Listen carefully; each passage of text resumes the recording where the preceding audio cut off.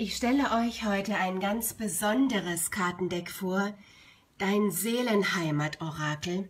Und ich beschäftige mich ja auch sehr viel mit höheren Sphären, Seelenheimaten, verschiedenen Bewusstseinsdimensionen und habe von der Heidi Schirner ganz begeistert von diesem Kartendeck gehört und die Samuel, Samuel Schaufert, Verzeihung, die das Ganze gemacht hat, ist eine sehr, sehr spirituelle, sehr fühlige Frau. Und ich bin einfach mal wirklich gespannt. Ich habe gestern schon mal eine Karte gezogen, die mich selbst sehr berührt hat und möchte euch jetzt heute mal so die eine oder andere Karte vorstellen, mal schauen, was sie mit Seelenheimaten meint. Da haben wir die Seelensphäre Ansara. Ah, die hatte ich gestern gezogen, deshalb liegt die oben drauf. Eine Wunde heilt.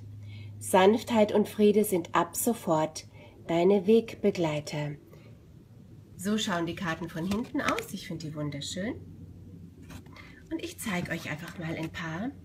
Mal schauen, die nächsten kenne ich jetzt nicht. Ich habe gestern wirklich nur eine gezogen. Ah, die Seraphim. Die Seraphim. Ariel, Samuel, Gabriel, Haniel. Ich lese euch jetzt nicht dazu vor, was da steht, denn wir ziehen gleich eine Tageskarte und ich möchte euch nicht alles vorlesen. Die super, die Karten. Was haben wir hier noch? Seraphim Muriel. Wahre Freundschaft wird dir begegnen, hab Vertrauen. Hm, hier haben wir die Seraphim und Muriel ist einer davon. Oder eine davon, wo ist sie? Hier. Mhm. Und hier sind sie nochmal unterteilt. Ich lade euch jetzt ein, euch mal mit zu verbinden mit diesem Kartendeck. Und alle, die jetzt zuschauen, natürlich, ne, das ist klar, ich ziehe jetzt eine Karte und da könnte man sagen, naja, wie sollen die für alle passen? Aber vielleicht gehen wir einfach mal davon aus, dass alle, die jetzt zuschauen, die sich da jetzt gerufen fühlen, genau die Karte bekommen, die sie jetzt brauchen. Mich selber halte ich mal raus, denn meine Karte war, wie gesagt, gestern an Sarah totaler, absoluter Friede war da das, ähm, die Information. Eine Ebene, auf der wirklich nur Frieden herrscht. Und das hat mich sehr glücklich gemacht. So, ich mische mal die Karten so ein bisschen. Ne? Schaut es euch bitte nochmal an. Dein Seelenheimat-Orakel, die zauberhafte Magie der Seelensphären. Ich finde das Kartendeck super für Leute, die spirituelle Seminare geben. Ich werde nämlich oft gefragt, ja, aus welcher Seelenheimat komme ich denn? Und da schwächle ich dann immer so ein bisschen, weil ich natürlich was fühle, es aber nicht zwingend dann auch benennen kann. Ja, jetzt zittert hier so ein bisschen so. Ähm, während ich hier mische und schaue, was euch da so rufen könnte, ich habe heute mal Salbei und Lavendel aus meinem Garten. Ich liebe Salbei und Lavendel und ich liebe Rosen und ich liebe Rosmarin. So, jetzt habe ich eine Karte. Jetzt habe ich eine Karte. Ich bin gespannt, was es ist. Aha, okay. Der Avatar Ampheniel. Und die Botschaft ist, es ist Zeit für Stille. Erkenne Gott in dir. Das lese ich euch jetzt mal vor. Hier gibt es wieder ein dickes Buch dazu. Und da gibt es vorne ein Inhaltsverzeichnis, was ich immer super finde. Da findet man es dann nämlich auch leicht. Hier ist das Inhaltsverzeichnis. Nur mal so, dass ihr mal reingeguckt habt. Sekunde. So. Hm? Schöner Verlag, ne? Klar. 2018. Gut. Und da schaue ich jetzt mal unter Avatar. Und ihr schaut euch die Karte nochmal an, wenn ihr wollt. Avatar, wie heißt der? Ampheniel. Ich bin wirklich gespannt. Das habe ich nämlich noch nie gehört, noch nie gelesen. Ich bin wirklich gespannt. Also diese Kartendecks vorzustellen, eröffnet mir wirklich total neue Welten. Das ist echt super, was die, was die Autoren da vom Schirner Verlag, muss ich jetzt mal wirklich sagen, was da für eine Weisheit gebündelt ist und für eine Inspiration, finde ich schon beeindruckend. Ich möchte gerne mal die Karte neben die Schachtel stellen, dass ihr beides im Blick habt.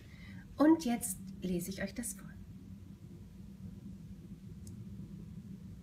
Der Name ist Ampheniel, das Auge Gottes. Vorsteher der Engelsphäre, Ampheniel ist selbst ein Engel. Aufgabe Leiten der Engelsphäre, wow. Energie. Hilfsbereit, charismatisch, selbstbewusst, feierlich, heilig, würdevoll, beruhigend, barmherzig. Habe ich da jetzt was falsch gemacht? Ich habe jetzt hier Seraphim Ampheniel, aber es ist ja Avatar Ampheniel. Jetzt muss ich hier gerade noch mal schauen. Nicht, dass es mich hier verwirrt, weil ich nämlich diese ganzen Sphären selber nicht kenne. Die Vorsteher der Seelensphären-Avatar.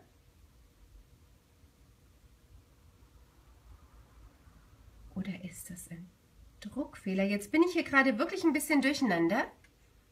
Ampheniel. Es gibt nur diesen einen Ampheniel. Und ich schaue nochmal, ob das Bild da jetzt vielleicht auch tatsächlich, schaut ihr bitte, das Bild stimmt und hier steht aber Seraphim Ampheniel. Wir lassen es jetzt einfach mal, wie es ist, da muss ich nochmal nachfragen. Nicht, dass einem das dann verwirrt. Er ist der Hüter des, also Seraphim Ampheniel ist ein magischer Engel. Er ist der Hüter des göttlichen Liebesfunkens. Als Engelsphärenvorsteher verlässt er die Engelsphäre nicht. Ah, wow. Er verlässt die Engelsphäre nicht. Er ist vollkommen in sich. Alle Energie richtet er ausschließlich auf die Erfüllung seiner Bestimmung. Unterstützt bei Entfaltung der Göttlichkeit in sich. Seraphim Ampheniel ist der Engelsphärenvorsteher. Er hat die Engelsphäre niemals verlassen und wird es auch nicht. Seine Bestimmung ist es, die Engelsphäre zu leiten und die Engel in ihrem Bewusstseinsprozess zu unterstützen. Wow.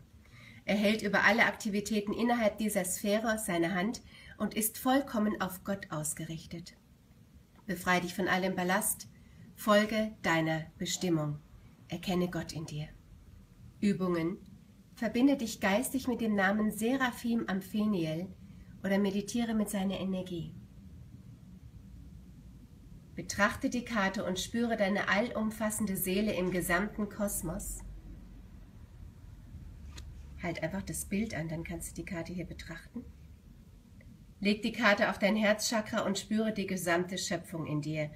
Und natürlich wäre es schön, wenn du dir einfach das Kartendeck kaufst. Du kannst aber auch schauen, ob diese Kraft vielleicht durch die Kamera, durch den Computer zu dir hinströmt. Die Affirmation ist, Ampheniel unterstützt mich dabei, meinen Glauben an mich selbst zu leben. Ich glaube an mich. Ich bin der Glaube.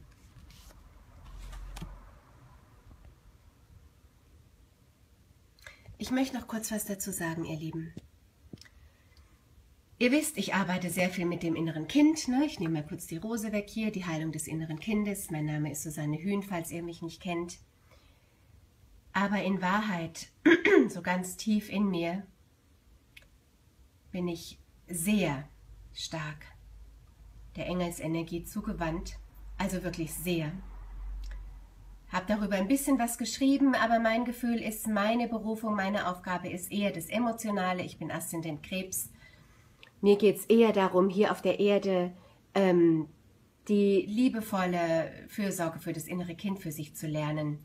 Aber ich privat, ich bin Fische, ich privat bin sehr, sehr daran interessiert, meine Seelenkraft zu spüren und bin einfach sehr mit Engeln unterwegs. Deshalb muss ich jetzt mal ganz ehrlich sagen, dieses Kartendeck berührt mich wirklich ernsthaft. Ihr merkt es auch, ich muss mich räuspern.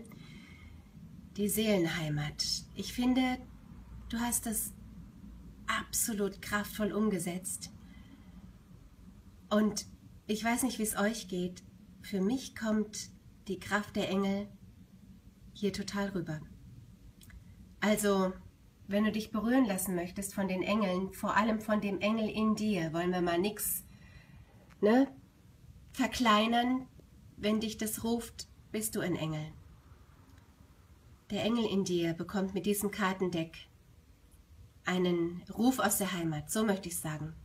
Der Engel in dir bekommt mit diesem Kartendeck einen Ruf aus der Heimat. Und Samuel, ich danke dir von Herzen dafür. Und euch, vor allem dir, Heidi, weil ich weiß, äh, wie sehr du dich in dieses Kartendeck verliebt hast, ähm, danke ich euch von Herzen, Schönes, dass ihr es gemacht habt. Großartig.